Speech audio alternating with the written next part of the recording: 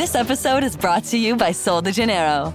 At Sol de Janeiro, touch isn't just for screens. Physical connection is so essential to how we communicate. It's infused in everything we offer. Scents so irresistible, PDA is guaranteed. Textures are so luscious, skin is huggable. Get into a Sol de Janeiro state of mind. Receive 10% off on your first order on soldejaneiro.com, plus free shipping with the code SOLDEJaneiro10. We are We are we are cultivate Cultivate. cultivate. Cultivate. Cultivate. cultivate. We are cultivate.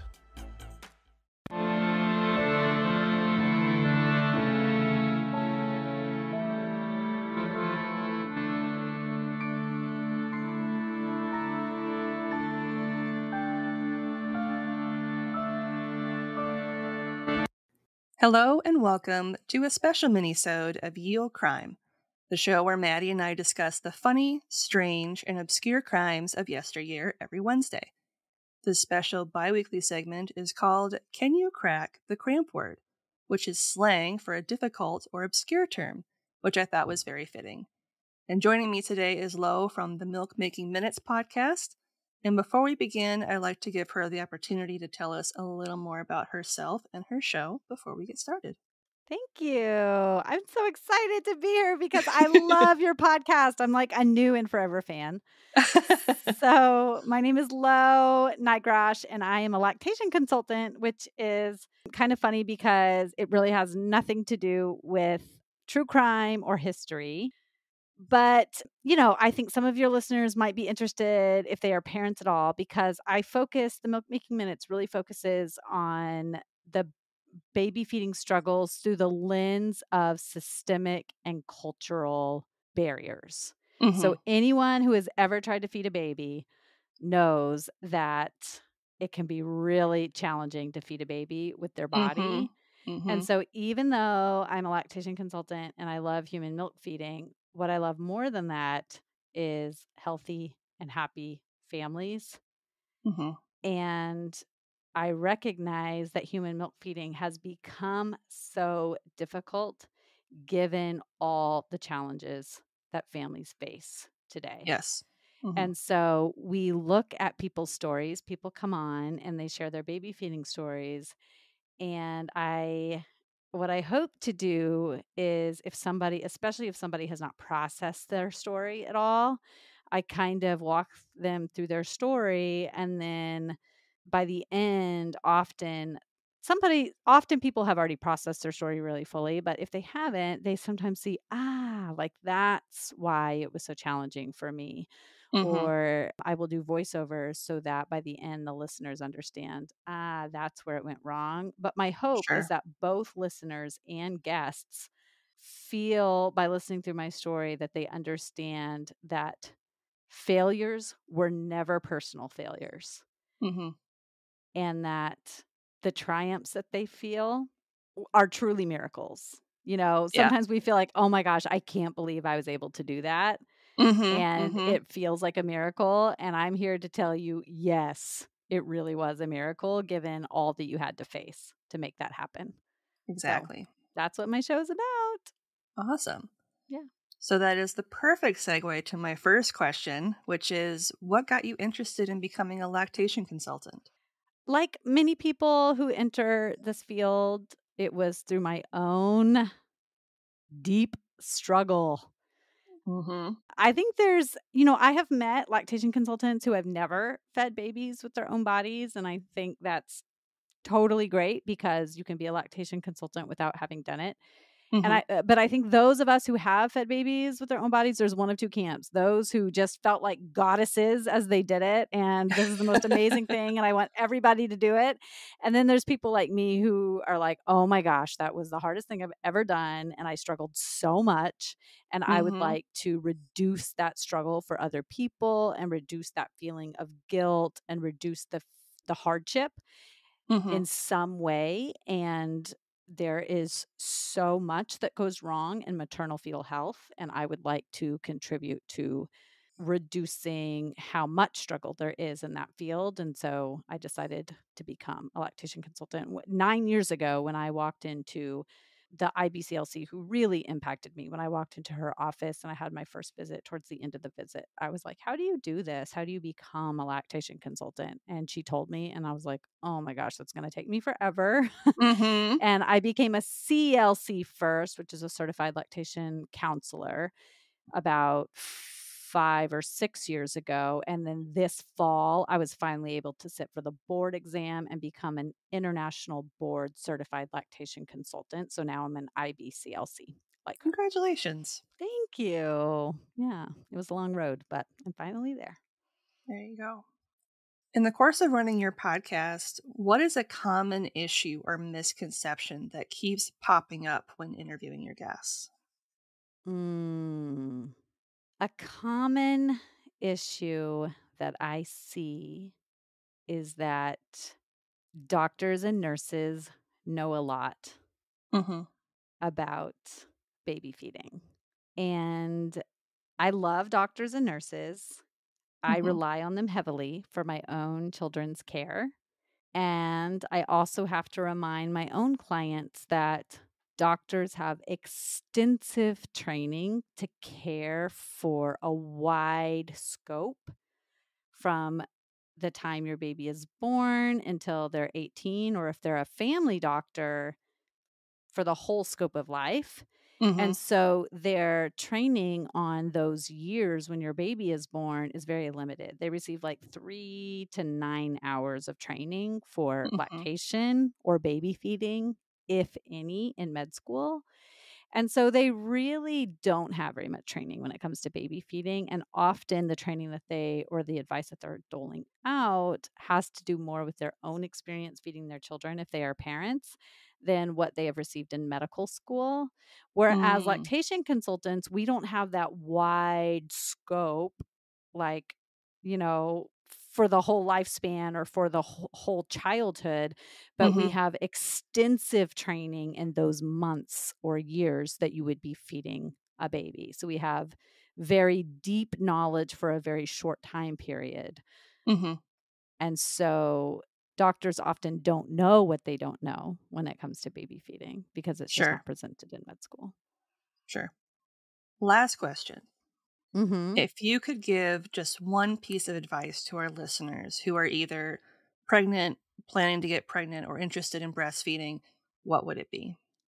I would tell them if they can to book a consult with a lactation consultant prenatally Mm. because often your insurance will cover it and get some one on one advice that is specific to you and your body. And you can call around so you can figure out because sometimes lactation consultants, they're like any other profession, right?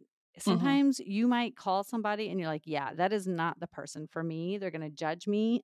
Mm-hmm. They are Mhm. not going to help me get to my goals because you might be thinking, you know, I'm not going to breastfeed at all costs. I might like to do some kind of combo or I might like to try it out. I might not I might like to see how it works for me, which is a totally acceptable goal. And so you Mhm. might call around and try to find the person who truly gets what your goals are and then say, you know, I would like to get a consult with you prenatally so I know how to set myself up for success Mhm. in the hospital to reach my goals so that you feel less anxious once the baby is there. And then if you run into any problems, you already know who you're going to call or text once that happens because anyone who has a baby knows what it feels like in those first days or weeks or hours to be feeling like, oh my gosh, my baby's hungry and I need to feed them and I'm Mhm. super stressed out and I don't know who to call and it doesn't feel like there's anybody available. So to have that person already saved in your phone feels like it eliminates so much stress. That makes so much sense. And Mhm. that's now that you're saying that, it is reminding me, and I know for our listeners, we literally just got off an interview for Lo's show where I shared my own breastfeeding story. And I didn't think about it when we were talking, but I recall that when I was doing the prenatal thing for my second, that they had us do a special parenting class, even though we'd already had a child, but it's it was required that we take another parenting class. And it was at a lactation place. And I didn't really mm. think about it until later that so much of it revolved around breastfeeding. And it made me feel a little bit better that I was in a space where, at least I think, that all of these new parents, that was their plan and that was their mm. goal. Mm-hmm.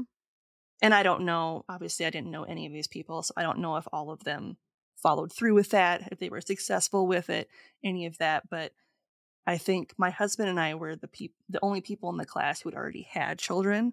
Mm-hmm. So we mm-hmm. kind of knew what to expect with children. And so it was so interesting hearing the questions they were asking. And at the same time, it was also helpful for me as somebody who hadn't breastfed before to be like, oh, I never would have thought of asking that question. Mm. So I do think it was helpful. And even if it's something that uh, someone who would not have wanted to breastfeed went to that type of class, I think it still would have been informative for them. So maybe it could have swayed their opinion or made them think about something that perhaps they hadn't thought of as part of their prenatal journey, you know, before they had their child about, well maybe I maybe I do want to try it. Maybe this is something that would be beneficial not just for me but also for my child and so it was just very interesting. I don't know why I didn't think of it while we were talking, but Oh yeah. As you were saying that, I was like, oh yeah, I did. I went to this place, and it was yeah, that's interesting. Kind of cool. Yeah. And you know, even if somebody, you know, sometimes I talk to people who are like, I do not want to breastfeed once I leave the hospital, but I just want my baby to get colostrum. Sure, I can totally yes. work with that, and I can help people with that. Or I say, I I talk to people who are like, you know, I do not want to feed my baby directly from my body, but I do want to pump, and I can help people with that or as you and I are talk we're talking about people who decide I do not want to breastfeed or chest feed or provide any kind of milk at all to my baby from my body. That milk, if you have mm-hmm. mammary glands, is going to come whether you want it to or not. And so, if that yes. is your plan and you would like to talk to a lactation consultant prenatally to figure out how you mitigate and make sure that you do not get engorged or have plugged ducts or lead to mastitis, which can lead to abscesses if you don't care for it properly. It is still great to get your insurance to pay for that lactation consult mm-hmm. prenatally so that you know how to care for yourself and deal with that milk because most hospitals are not going to do the best job. In fact, I work at a hospital twice a month just to like know kind of what's going on in the hospitals as a lactation consultant. Most of my work is private practice. And if somebody says they are feeding formula, we there's just too many patients that we're seeing who are breastfeeding, so we just cross them off our list and we're not even going into those rooms to check in on them. Do I mm-hmm. wish the system was different? It is a systemic failure. So yes, I wish yes. that we could come in and say, we know you're formula feeding. We are the lactation team. We are not trying to sway you another way, but we just want to let you know your milk is going to come in. This is how you can care for your body to make sure that you don't feel pain, that you don't get overly engorged. But the nurses don't really do a great job of that typically. Uh-huh. So, if you want to use your insurance, the Affordable Care Act requires that insurance companies pay for typically about six visits with a lactation consultant and typically that that can happen at least one of those visits can happen prenatally. That's awesome. And if anyone wants to you know book with me i can do virtual visits so. Awesome. Yeah. Are you pregnant and thinking about what making milk for your baby will be like? Do you wonder why feeding human babies human milk has become so challenging I'm Lo Nigrosh, a lactation consultant and host of the Milk Making Minutes, a podcast that explores baby feeding through the lens of systemic and cultural barriers.